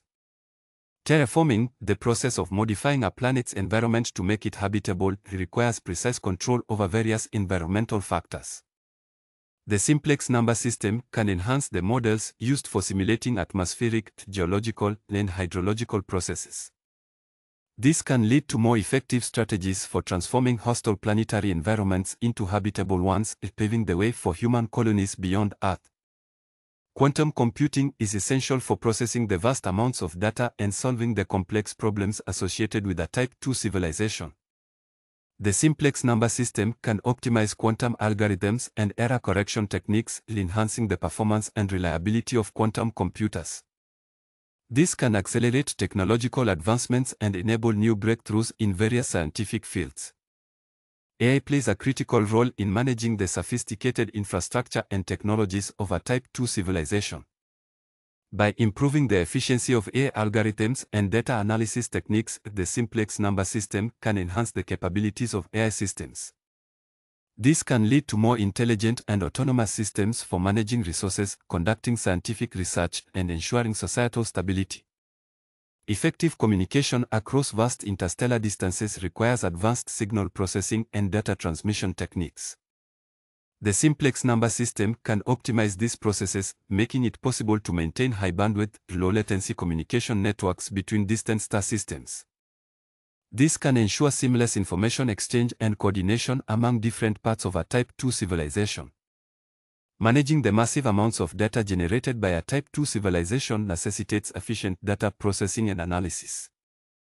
The simplex number system can enhance data compression, storage, and retrieval techniques, making it easier to handle and interpret large datasets.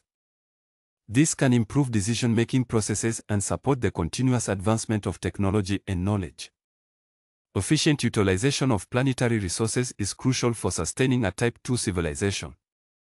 The simplex number system can improve models for resource extraction, processing, and distribution, ensuring optimal use of available materials. This can reduce waste, minimize environmental impact, and support sustainable development practices. Maintaining the balance of biospheres on multiple planets requires sophisticated ecological models. The simplex number system can enhance our understanding of complex ecological interactions, leading to better management of planetary ecosystems.